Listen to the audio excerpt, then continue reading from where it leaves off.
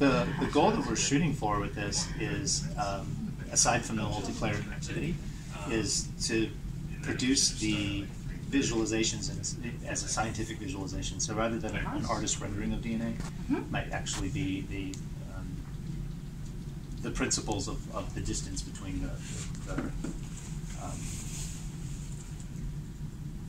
the AT, I'm forgetting ATGC, you know, the, the, uh, the molecules. Yeah, So, or, or like a sheet of graphene that's visualized with the, the proper, you know, um, dimensions of the size of the atoms and orientation, things like that. So that you can like imagine things at nanoscales. Uh-huh. But I mean, I think where we're headed with it is, is, um, establish the, the proof of concept that the classroom can be done and then see what we Mhm. wanna run.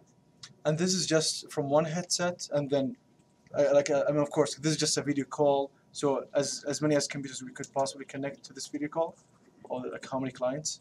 Um, so one headset, so the instructor, for example, and then the students will be on their, um, I guess, workstations or tablets. Um, the the other aspect to uh, to this um, environment, we tested also like multiple headsets.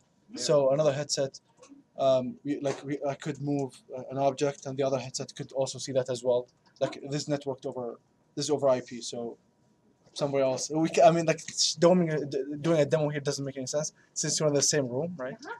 So like in somewhere else in the like in the university, you could have another headset. You could see these objects move, scale, uh, manipulate it. Very cool. So, Very cool.